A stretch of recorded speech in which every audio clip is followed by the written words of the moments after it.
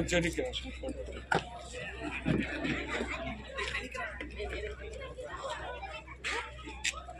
రెండు మాటలు సార్ మాట్లాడతారు తర్వాత. పెద్దలు తులసిరెడ్డి గారు ఒక వివాహ కార్యక్రమానికి రావడం చాలా శుభ పరిణామం. ముఖ్యంగా కదిరి నియోజకవర్గ కాంగ్రెస్ పార్టీ నాయకులకు కార్యకర్తలకు యావన్ మంది ప్రజానీకానికి దీపావళి శుభాకాంక్షలు. దీపావళి శుభాకాంక్షలు తెలుపుతున్నాం కానీ కరువు రక్కసి విలయతాండవం చేస్తూ ఉంది. ఇక్కడ ఆరు మండలాలు ఉంటే రెండు మండలాలుగా ప్రకటించడం జరిగింది కానీ ఏ కార్యక్రమం కానీ ఏమీ జరపడం లేదు. ప్రభుత్వం నుంచి పశు పశుగ్రాసం కానీ తాగునీరు కానీ ఏ వసతులు ఇంతవరకు లభ్యం కాలేదు. కాబట్టి ప్రభుత్వం త్వరితగతిని ఈ కార్యక్రమాలను పూర్తి చేసి కరువు బారి నుంచి కొంతైనా ఉపశమనం కలిగించాలని కోరుతున్నాం. సెలవు. ఈరోజు దీపావళి పండుగ. తప్పస్ ఈరోజు రేపు.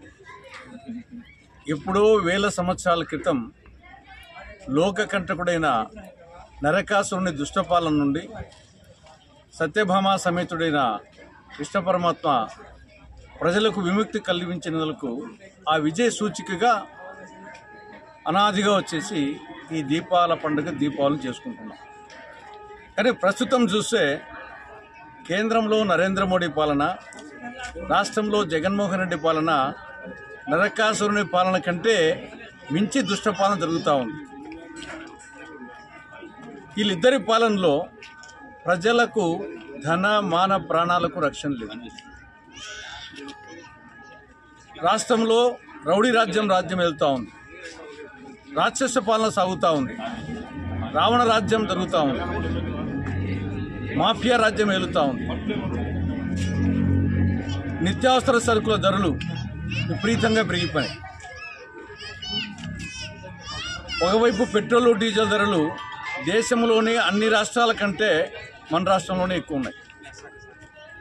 కరెంటు ఛార్జీలు ఈ నాలుగున్నర సంవత్సరాల కాలంలో ఎనిమిది సార్లు పెంచడం జరిగింది. అంటే యాభై వేల కోట్ల రూపాయల అదనభారం మామూలుగా కరెంటు తీగ పట్టుకుంటే షాక్ కొట్టాలా?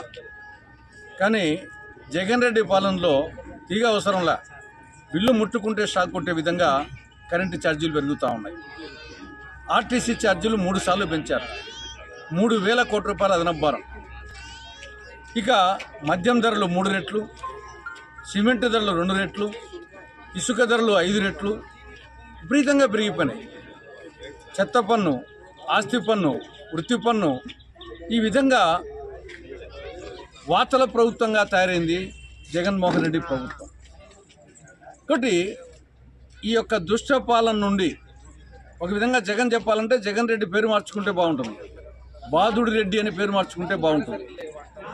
కాబట్టి ఈ దుష్టపాలన నుండి ప్రజలకు విముక్తి కావాలంటే రాబో సార్వత్రిక ఎన్నికల్లో కేంద్రంలోని మోడీ ప్రభుత్వాన్ని బీజేపీ ప్రభుత్వాన్ని రాష్ట్రంలోని జగన్ ప్రభుత్వాన్ని వైకాపా ప్రభుత్వాన్ని చిత్తు చిత్తుగా ఓడించి అటు కేంద్రంలో ఇటు రాష్ట్రంలో కాంగ్రెస్ పార్టీ అధికారంలోకి రావడమే ఏకైక పరిష్కారం. అప్పుడే నిజమైన దీపావళి. నిజంగా రాష్ట్ర ప్రజలకు నిజమైన దీపావళి. ఇది దీపావళి ఒక సాంప్రదాయబద్ధంగా వచ్చే దీపావళి కానీ ఇది నిజమైన దీపావళి. కేంద్రంలోని మోడీ ప్రభుత్వాన్ని రాష్ట్రంలోని వైకాపా ప్రభుత్వాన్ని దించి కేంద్రంలో రాష్ట్రంలో కాంగ్రెస్ పార్టీ అధికారంలోకి వచ్చినప్పుడే అప్పుడే నిజమైన దీపావళి ఆ కోణంలో ఆలోచించాలని రాష్ట్ర ప్రజానీకానికి కాంగ్రెస్ పార్టీ విజ్ఞప్తి చేస్తూ ఉంది. మూడవ తారీఖున డిసెంబర్ మూడున ఒక మిరాకిల్ జరగబోతా ఉంది. ఆ రోజు ఐదు రాష్ట్రాల ఎన్నికల ఫలితాలు రాబోతున్నాయి. రాజస్థాన్ మధ్యప్రదేశ్ ఛత్తీస్గఢ్ తెలంగాణ మిజోరాం. ఈ ఐదు రాష్ట్రాల్లో ఐదు కానీ లేదా నాలుగు కానీ మూడు కానీ ఖచ్చితంగా కాంగ్రెస్ పార్టీ గెలవబోతా ఉంది.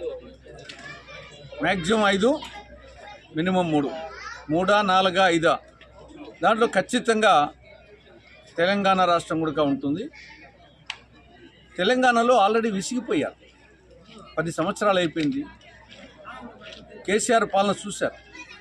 దానికి తోడు ఇటీవల ఈ యొక్క కాళేశ్వరం మేడిగడ్డ అది ఒక శాపంగా పరిణమించింది కేసీఆర్ పాలనకు. ఇంకా బీజేపీ పాలన అది బీజేపీ బీఆర్ఎస్ ఎంఐఎం ఈ మూడు ఒకటే.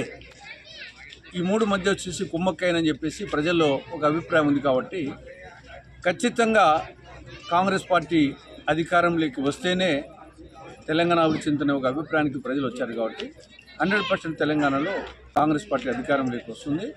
దాని ప్రభావం పొరుగున ఉన్నటువంటి ఆంధ్రప్రదేశ్లో రేపు రాబో లోక్సభ ఎన్నికల్లో కూడా దాని ప్రభావం పడుతుంది. కాబట్టి రాబో రోజులు కాంగ్రెస్కి వచ్చేసి మంచి రోజులు రాబోతున్నాయి.